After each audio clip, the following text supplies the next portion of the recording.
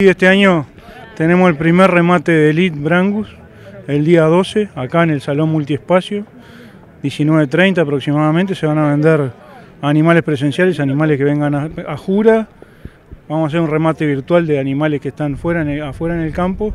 Y también va a haber paquetes de embriones y en el caso de alguna donadora de Brangus. Digamos, el primer remate de Elite que se hace, había mucho interés por parte de los cabañeros en empezar con esta historia y bueno, y le estamos metiendo para adelante. ¿Qué se puede decir justamente de eso? ¿A qué apuesta la Sociedad de Criadores con esta Expo Prado?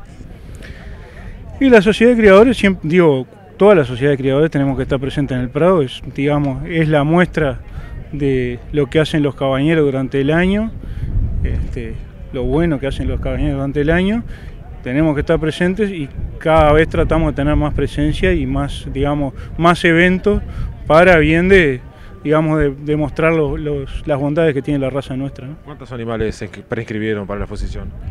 Mira, hay 15 animales preinscriptos, este, creo que se confirman todos, por lo que he escuchado, se, confirman todos. Eh, la jura te la tenemos el 13 de septiembre, va a jurar Diego Grané, un técnico veterinario argentino que tiene años de trabajo en el Brangus y en otras razas, pero no solamente en Argentina, sino en Uruguay, en Paraguay. Este, una persona con mucha experiencia y bueno, sin duda este, hay mucho interés de, la Brangus de estar presente en el Prado y, y mostrar sus animales. ¿no?